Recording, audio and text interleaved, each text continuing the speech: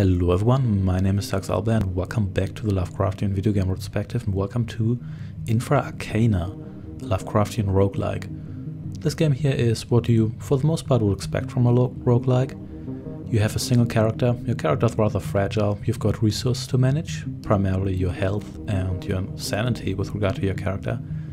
And there's also a uh, plethora of items to find and manage, such as weapons, scrolls, medical supplies, flares, and other supplies.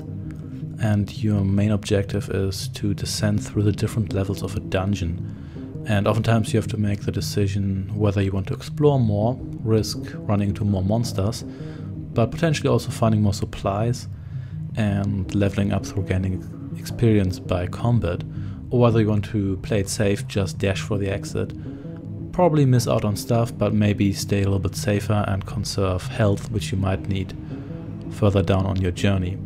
The game offers four different character classes. You've got the veteran, who's focused on combat and is a little bit tougher than the rest. You've got the rogue, who's focused on sneaking and is maybe a little bit more suitable for just sneaking through the levels instead of exploring everything and trying to kill all the enemies. There's also the cultist, who is more magic focused as well as the Ghoul, who's a little bit of a oddball slash special class. The Ghoul has a couple of quirks. He cannot regain hit points the usual way, but can regain them by eating fallen enemies. And to me, the rogue, uh, the Ghoul, not the Rogue, felt a little bit like a mix between the Veteran and the Rogue.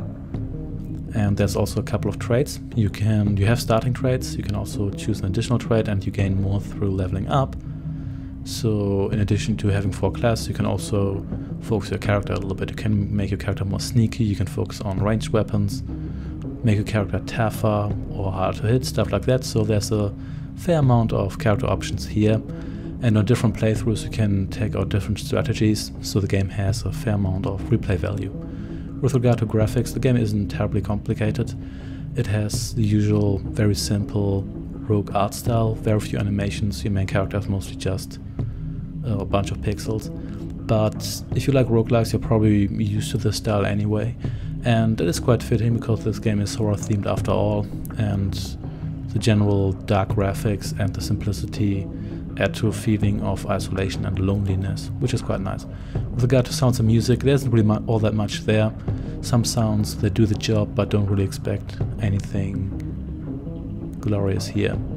The game is, depending on how you look at it, rather short, but you're probably going to need a lot of tries to get through it. In fact, I was unable to finish it.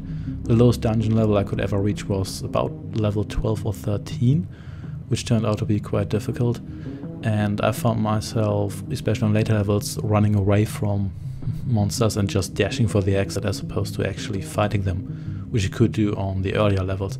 I'm not quite sure that's the best strategy because as I said before I was actually unable to finish the game at all. But I'm not a roguelike expert. But be warned that if you want to finish this game, you are probably going to need quite a bit of patience, but I found the game relatively rewarding. While if your character is dead, he or she is dead, but at the same time, you, it's a feeling I was gaining experience th throughout all my playthroughs, or failed playthroughs rather, and I did get to know the game's monsters, mechanics, what different items did, and what traits were more suitable for what builds, and what strategy to approach the game with. And while it can be a little bit random and unforgiving at times, that's also a feature of roguelikes. And it's essentially what you expect if you play a game of the genre. And the whole Lovecraftian stuff is in the magic, insanity, and the themed enemies such as cultists. They add to this, and it also gets more and more Lovecraftian the deeper you go through the dungeon, which is what you would expect. So if you like roguelikes, this is definitely for you, but be advised that you're in for a challenge. Even compared to a couple of other roguelikes I've played, this game was quite difficult. And if you're not a fan, I'm afraid even the Lovecraftian theme is not going to convince you. But the game is free, and it's so simple that it should run on pretty much any system. So I'm going to give you a link and you can feel free to try it out. Thanks for watching, and I shall see you next time. Take care and goodbye.